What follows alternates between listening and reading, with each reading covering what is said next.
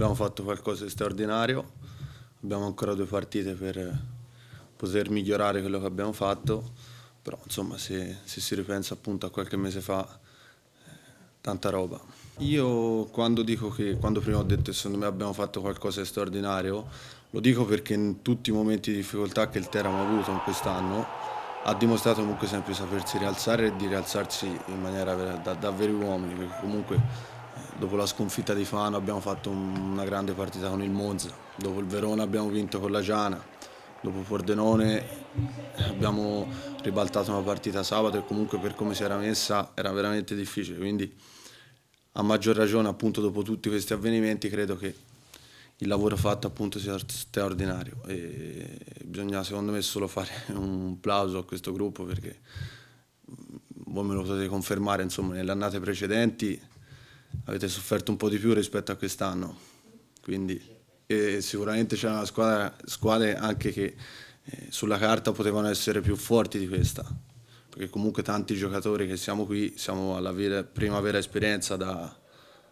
non titolari, però comunque da che stiamo giocando un po' di più, ecco. Ma Saveriano ci ha dato una grande mano,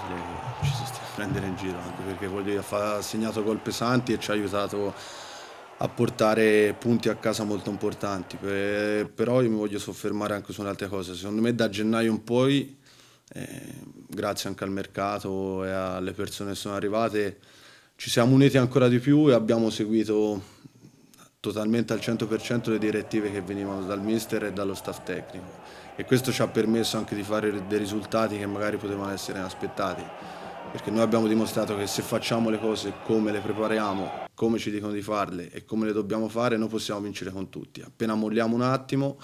eh, rischiamo di prendere le, imbar le imbarcate con, con, chiunque, quindi oltre a Saveriano io credo che anche ci sia tanto merito da parte del mister e dello staff. Il lavoro del mister credo sia sotto gli occhi di tutti, è stato un mister che comunque è stato anche abbastanza criticato e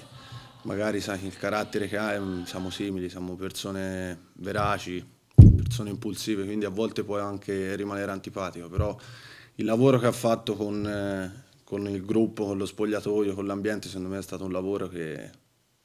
ha portato i suoi risultati e bisogna solo fargli i complimenti. È chiaro che se dovesse vincere il Monza si aprirebbe lo scenario che l'undicesima vada a fare play-out, i play-off, se non dico una cavolata, giusto? Quindi chiaramente se, se dovesse vincere il Monza avremmo un'opportunità in più, però ripeto abbiamo queste due partite per provare a fare più punti possibili e poi vediamo quello che succede.